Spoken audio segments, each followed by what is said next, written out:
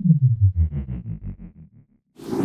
El Partido Verde Ecologista de México y Morena son a los que más ha aplicado multas. El Instituto Nacional Electoral de Quintana Roo informó el consejero del YECRO, Amilcar Sauri. El presidente de la Comisión de Partidos Políticos dio a conocer que hasta junio de este año a Movimiento de Regeneración Nacional le aplicaron multas por 16 millones 601.530 pesos, mientras que para el Verde Ecologista de México ascendieron a 12 millones 865.200 179 pesos.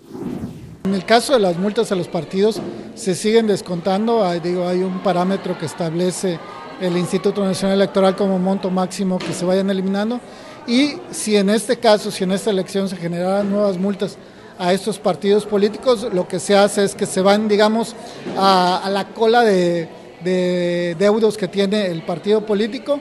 Y bueno, primero finalizan los más antiguos y así se van eh, atacando o eh, disminuyendo los nuevos, ¿no? Entonces es como un procedimiento que hace el Instituto Nacional Electoral y que bueno, a nosotros se nos informa y nada más nosotros hacemos eh, el ajuste respectivo y en su caso hacemos la retención para turnarla a la Secretaría de Finanzas. De igual manera, dio a conocer que un porcentaje de las multas se destina al Consejo Quintanarruense de Ciencia y Tecnología para que lleve a cabo proyectos de investigación. Para Notivisión, Marta Torrero Ortega.